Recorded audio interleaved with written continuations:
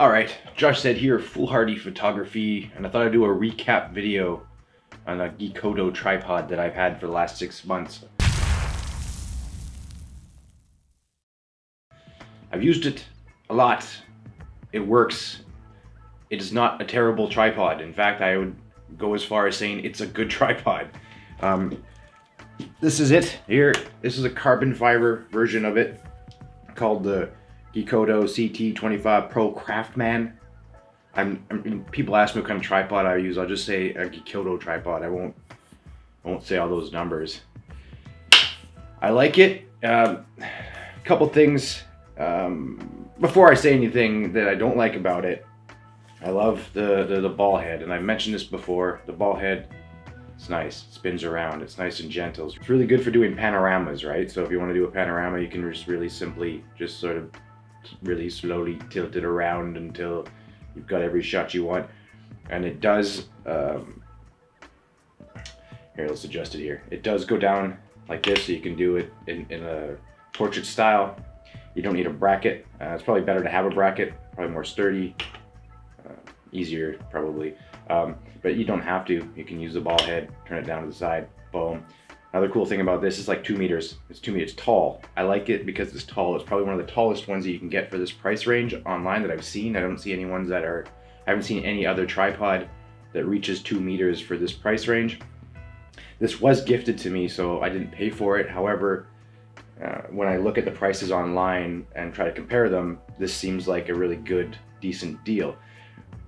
One thing I don't like about this tripod is, yeah, I don't like these these these grips here in order to tighten the legs. I'm not a fan of these. However, for even cheaper, another gift that I had was this tripod, which is also the Geekoto. Um, again, the name, I have to look at it because I don't remember this stuff. The AT24P, or 2, AT24 Pro uh, Dreamer. And it's aluminum, also very tall. Again, two meters tall very similar. The ball head's exactly the same except for that this is plastic.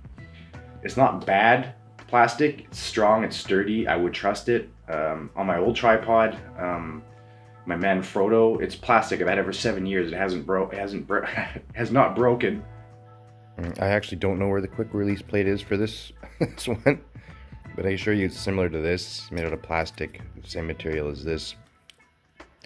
It functions pretty much exactly like this one here, just different material.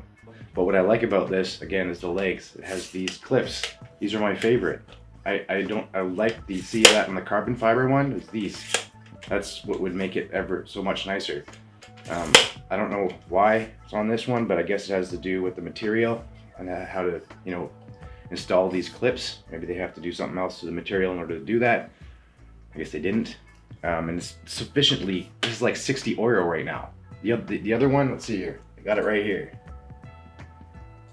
So this one right now, the Dreamer, is 60 euro and 79 cents on Amazon. And the carbon fiber is 145 euro and 99 cents. I don't feel much weight difference from them. Um, I would like to see the metal metal here, because on the, the carbon fiber, you get a metal. A metal head here. Base plate and the quick release plate are metal. And on the other version, they are plastic. So that being said, I kind of want to take this ball head. Again, you can take the ball head off of these and use it for other things. Like I put it on my, my uh, shoulder rig, you know, just for an example. But if you have anything else where you can use a ball head, you can literally take the ball head off and stick it on stuff. So that's kind of cool. I'm thinking about taking the ball head off of this one and putting it on the other one. you know, that might be what I do from now on because I like the, I don't like these so much. I like the other one, like the clips. Um, what else can I say? It's easily adjustable, smooth. I feel my camera's safe when it's on it. And the one final awesome thing about these tripods is that, or there's two other things actually. One is that the, the second is a monopod.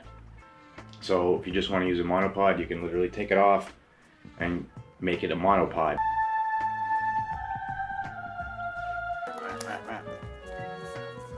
And I have a monopod. Boom, monopod. Yeah, monopodding it up. The biggest gothic festival in the world in Leipzig, Germany, and I used it to film stuff using that uh, the monopod.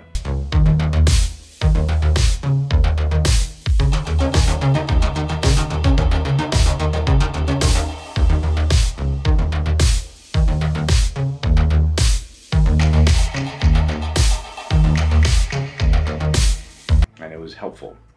Another thing is you can actually flip this around, put it underneath, and then you can, you know, do macro shots, shoot from a low angle, so you can literally flip this around and stick the ball on the other on the bottom end here.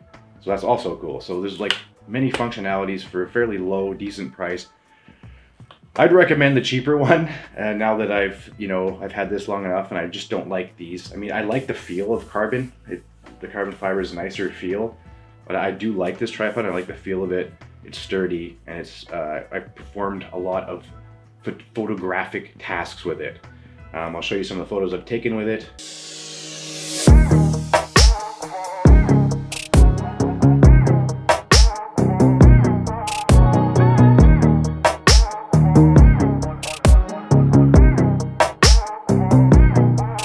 So I took a few good panoramas that this ball head really helped with.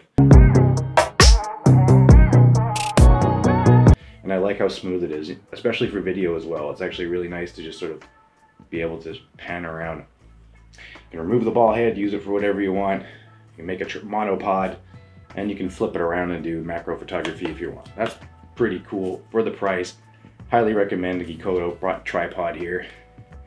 I, I'd go for the cheaper one, just just saying, because if you just need a tripod um, and you don't care if it's carbon or aluminum, I would definitely go for the cheaper one. I don't think you're gonna regret it. Like I said, I, I trust the plastic. Anyways, I'm Josh Zed. Thank you kindly for watching. If this helped you, cool. It's up to you. I don't really want to make your decisions for you, but if you if you want to, you can like, share, comment, and subscribe, and that helps my channel and helps me, you know, um, with inspiration to make more videos. Appreciate it.